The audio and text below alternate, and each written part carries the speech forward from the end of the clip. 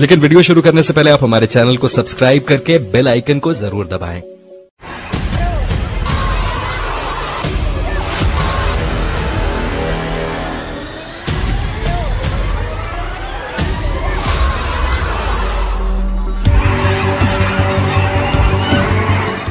ये गुस्सा ये आक्रोश घिनौनी कांड के खिलाफ है दरअसल आंध्र प्रदेश के एक कॉलेज के गर्ल्स हॉस्टल के वॉशरूम में एक कैमरा लगाया गया इसमें लड़कियों के आपत्तिजनक वीडियोस रिकॉर्ड किए गए।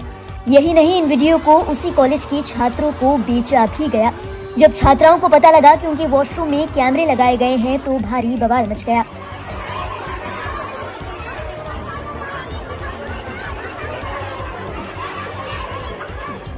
मामला सिर्फ़ इतना नहीं था। आगे सुनेंगे तो आपके रोंगटे खड़े हो जाएँगे। जानकारी के मुताबिक ये करतूत विजय नाम के एक स्टूडेंट की है।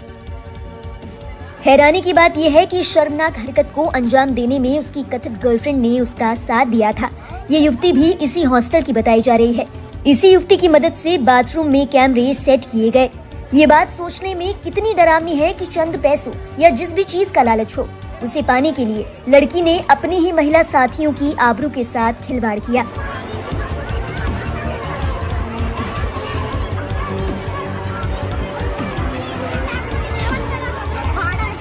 इस घिनौनी हरकत से पर्दा तब फाश हुआ जब इन वीडियोस में से कुछ को हॉस्टल के ग्रुप पर शेयर किया गया।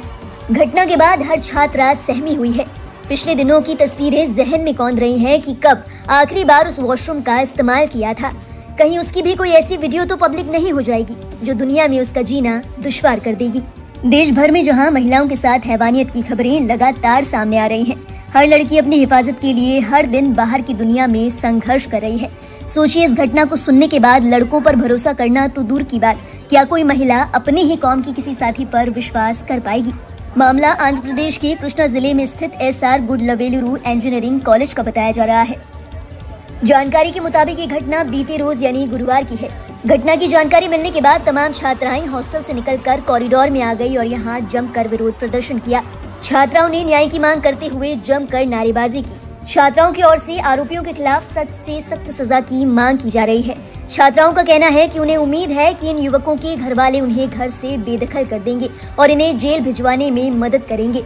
छात्राओं ने ये भी मांग की कि केवल कैमरा लगाने वालों पर नहीं, बल्कि उन युवकों पर भी कार्रवाई की जानी चाहिए जिन्होंने इन वीडियो को खरीदा है। साथ ही इस कारनामे में शामिल उस छात्रा को भी बख्शा नहीं जाना चाहिए जिसने अपने कथित बॉयफ्रेंड की मदद की है। छात्राओं का कहना है कि कैंपस में महिलाओं की सुरक्षा के पुख्ता इंतज़ाम किए जाने चाहिए। नहीं तो उनमें से कोई भी हॉस्टल में नहीं रहेगी।